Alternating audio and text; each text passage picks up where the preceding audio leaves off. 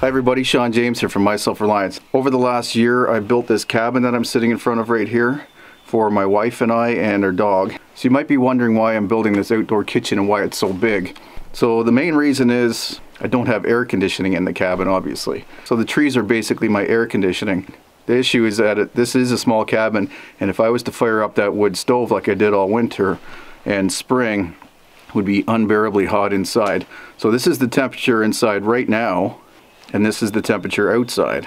So as you can imagine, I don't want to cook inside the cabin. So this outdoor cooking pavilion, this forest kitchen, is uh, my answer to that. It's 10 by 10, square roughly. I have an irregular roof line, and over the next few weeks I'll be building a, a grill, so a st stone barbecue, um, a rocket stove to act sort of like a, a, side burner for cooking vegetables and boiling water, boiling kettles for uh, tea and coffee and so on.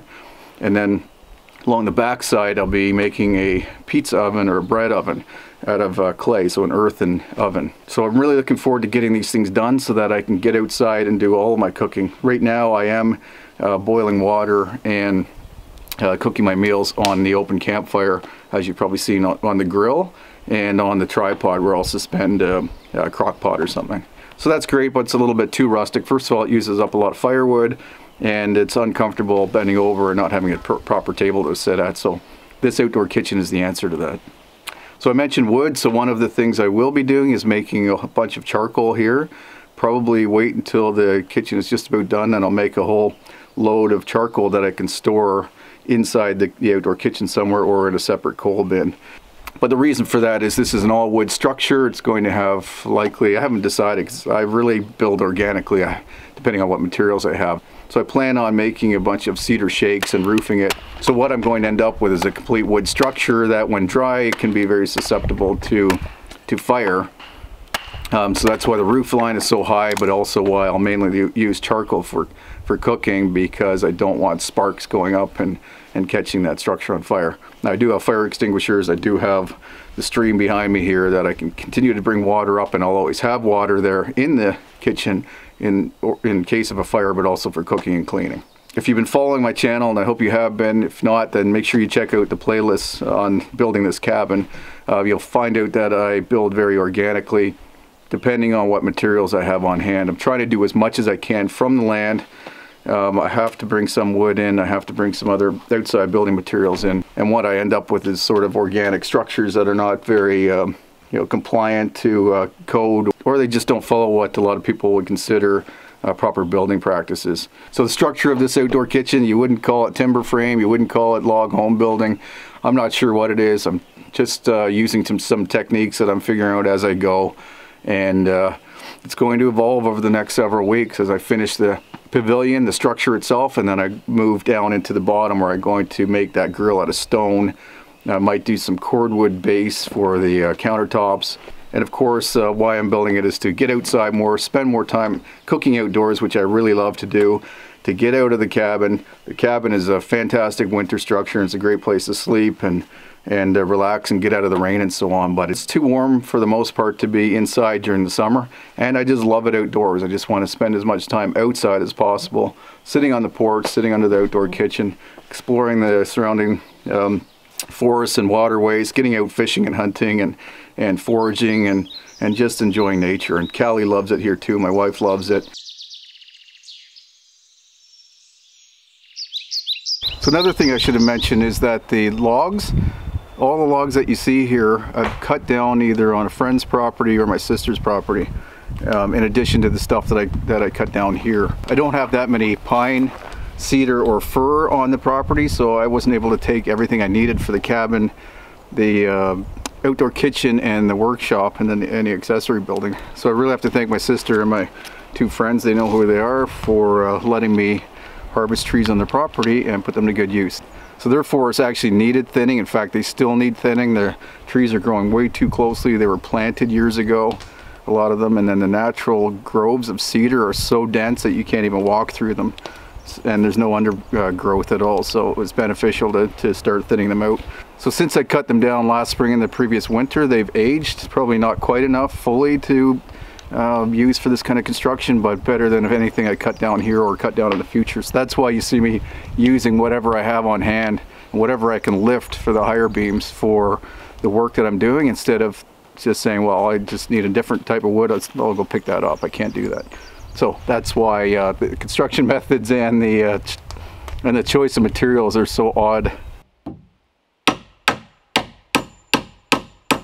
So I filmed that first part a couple of weeks ago before I released episode two, and I just didn't get a chance to edit it and upload it until now. So one of the questions I'm getting, of course, and I expected, and, and rightfully so, is why is it so wonky and sort of organic shaped rather than linear?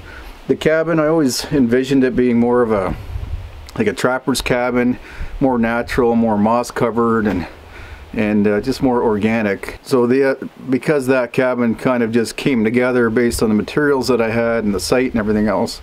I just uh, and time it was taking me longer than I thought it would for for one man using mostly hand tools. I thought um, I could knock it off quicker, but anyway, it uh, I still I'm still happy with it, but. I, do uh, wish that it was a little bit more organic. So I thought in the next cabin I'll do that.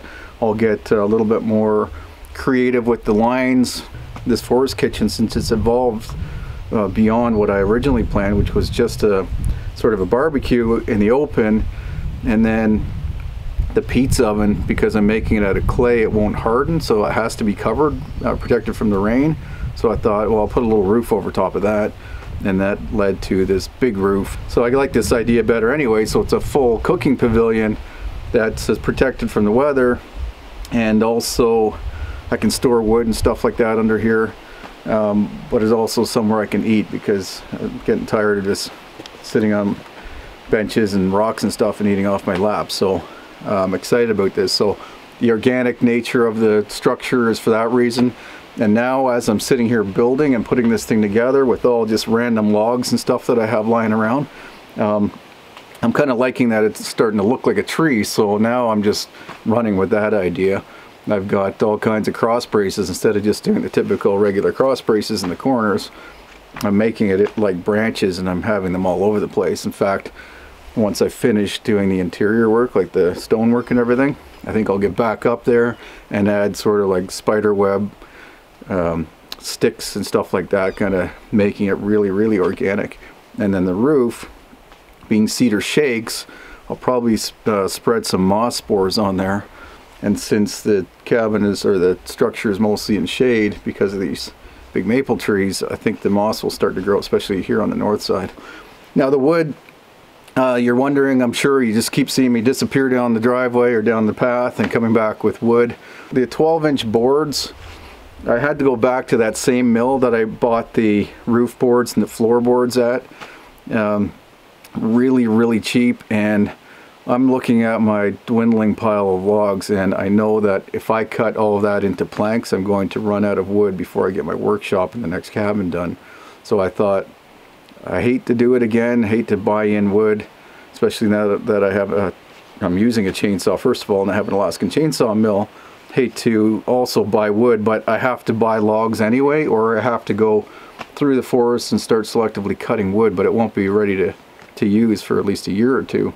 So if I have to do it anyway, I'd rather go to this uh, country mill that I that I get my wood at. So cheap. It's all rough lumber. It's unseasoned, but it's uh, you know better than what I would cut. And they have lots of it.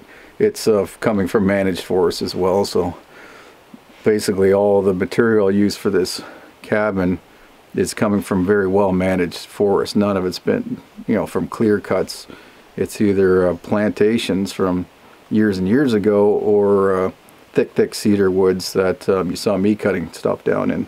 So if you want to watch this or you want to watch some of the other projects that I'm working on, then please subscribe. And if you want to make sure that you don't miss anything, click on that notification bell um, so that when I upload a video, you'll be notified.